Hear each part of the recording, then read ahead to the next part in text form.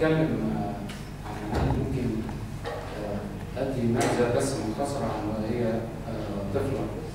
آه، كانت آه، دؤوبة آه، تحب تتعلم.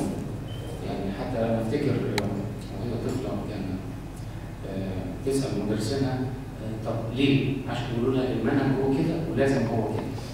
فكان في درس مرة أفتكر ال- ال- عن الضوء والعدسات وال- والمرايا وما أشبه فكان يعني مش عارفة يعني بتسأله يعني عايزة تفهم فلسفة ده ليه؟ عايزين بندرسوا ليه؟ فكان زميلاتها يعني يعني يقول خلاص بقى ما بقى يعني بعدين بعدين يعني كانوا ما كانوش يعني بيستوعبوا كده فأنت تسال ليه بندرس ده؟ فانا فاكر لما قعدت معاهم وهي طفله كانت حوالي سبع ثمان سنين تقريبا فهمتها يعني إيه المغزى من دراسة ال- ال- الأول؟ إيه السبب؟ يعني يعني إيه لو جبنا مرايه كده وعكسناها في مكان هت- هتدي الجوجه لما جاي كده جاي كده ولو المرايه اكبر كده فاستوعبت فلسفة الموضوع. وبقت هي أكتر حد في زميلاتها فاهم الموضوع لأبعد حد. فكانت دؤوبة يعني حتى كانت لما تيجي من بره وما تلاقيش والدتي في البيت أو بتجيب حاجة أو كده. فكانت آه، توزع الشنطة بتاعتها وتقعد على السرير وتبدا تذاكر فهي كانت بتقول آه، دايما إن عبد الغني علمنا حاجات كتير. أنا لا ما علمتهاش حاجة. آم، للأسف أنا كان في حاجة مهمة كان نفسي اعلمها إن هي إزاي تقدر تحمي نفسها. ودي اللي أنا ما قدرتش اعلمها تحمي نفسها من لدغات الاخرين للاسف يعني المهم آه، هي كانت بتحب تبقى بنبقى مع بعض بينما الاخ الاكبر آه، كان ليا ثلاث اخوات تانيين يعني أنا وليا اخ تاني واخت تاني كمان فكان دايما والدي ووالدتي خلي بالك من اخواتك انت اخوهم الكبير فكنت دايما الحكاية دي تشبعت بيها طبعا فبقيت قلبت إن أنا أكلم باباهم التاني ف وكانت امال بالذات كانت يعني متعلقة بيا لأن أنا كنت الكبير وأنا كنت معاها يعني ما بحبهاش إن هي صغيرة خالص. فيعني لما بدأت تكبر شوية بدانا كنت أخدها معايا افتتاحات مع والد يعني كده. وبعدين كانت آه، كنا بنحب نتابع مع بعض آه، ال- ال- ال- الأفلام الأبيض والأسود ال- يعني زي ذكرت قبل كده زي أفلام اللي كان في كانت تحب على فكرة كانت تحب الكوميديا قوي يعني. وكنا نحب نتفرج على افلام نجيب الريحاني. كنت دايما أقول لما تحبي تتفرجي على على ال- على ال- على التلفزيون؟ اعتبر إن انت بتبصي له من خلال ال- الكادر. الخارجي ما, تخشيش جوه الحدث نفسه.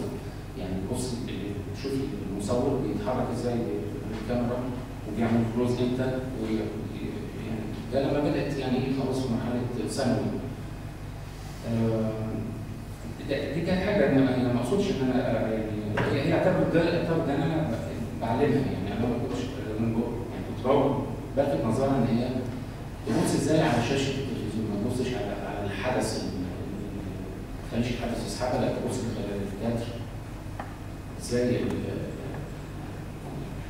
المهم لما جت كانت درست في معهد سينما فترة لمده سنتين قسم الدكتور وبعد كده درست في فنون جميله وبعد كده كان لينا في أول اعمالنا لما كنا بنشتغل معهد.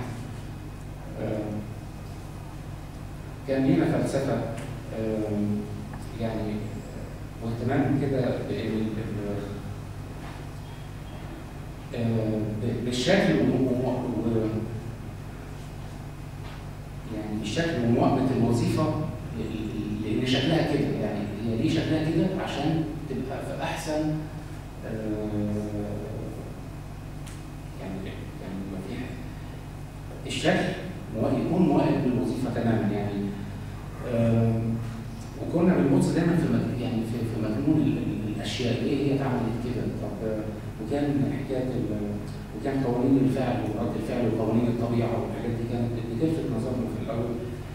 وكان كان شغلنا في النحت كان ينبع من ال- من التصور كده. آه،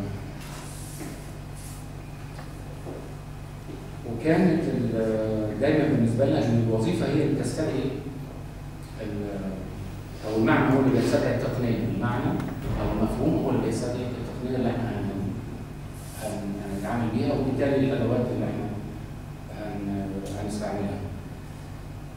فكان أول حاجة لينا كان في صالون الشباب الأول اللي هو لكل شباب تحت سن 35 سنة وقدمنا فيه ثلاث أعمال وكان خدنا الجائزة الأولى.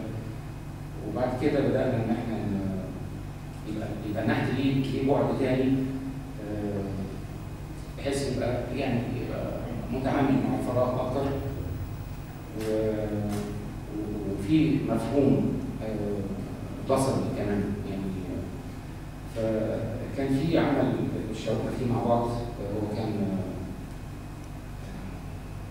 في بناء القاهرة مش فاكر سنة كام لأن كان كل كل حاجة هي اتحولت العلاقة بقى ما بيننا من أخ أكبر لأن هي بقت ليها خبرة أكتر في الحياة أكتر مني تقول فبقت لكن هي هي هي اللي ماما مش اللي مش أنا اللي أخوها كبير فكان هي كل كل تفاصيل اللي إحنا عملناها كانت هي تعرف ده توجيهه إيه أنا يعني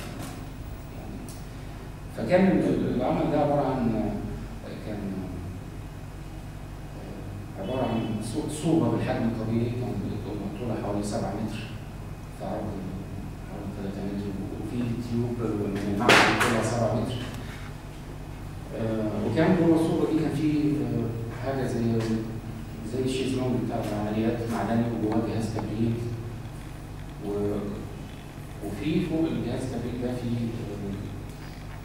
آه، كتلة كتلة مجسمة أشبه بال هي يعني شكلها عضوي طولها حوالي 180 سم وكان في وسيط تاني آه، طين تحت فكان العمل ده تحت مسمى أو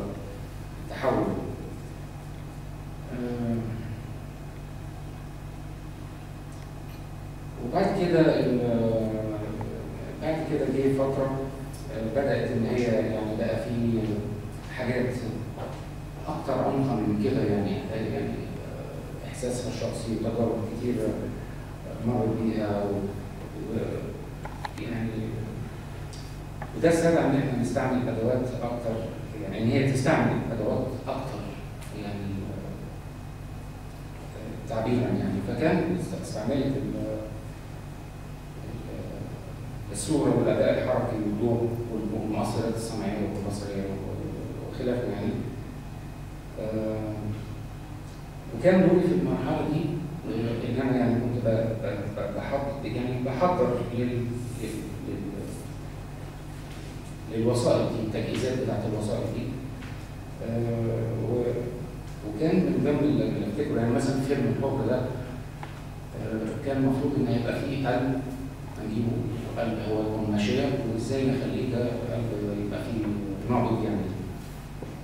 طب نع- تتصرف فيه إزاي وكان برضه من ال- يعني المهم حل المشاكل الأمور التقنيه وكنت أنا سعيد قوي بكده خصوصا لما بعد ما عرفت إن هي كانت تعبت.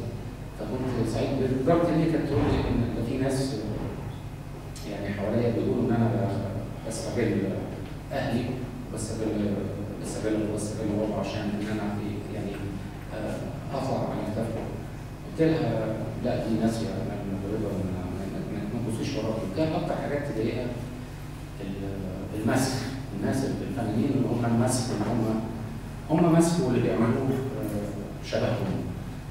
فكنت دايما أقول لها آه، ال- الواحد لما يبص وراه كان لو هو سايق عربية وفيها يعني أي نوع من ال يعني مثلا وحاجات بتقع. اللي ورايا دول بي- بي- بيلموا ال- ال- السقطات دي أو أو هم شغلتهم البايت بين السطور فكده لو الواحد بص وراك كده العربية اللي هو ماشي بيها دي هتقف. تمام. يعني فالمهم أنا كنت يعني سعيد قلت لها لا ما تفكريش في الموضوع ده خالص. ده أنا برضه سعداء جدا بأي حاجة إحنا بنعملها و- و- اتمنى ان إحنا نبقى, نبقى يعني كده على طول ف وكانت اعمال بقى توالت كتير. اللي شفناها معروضة حاليا.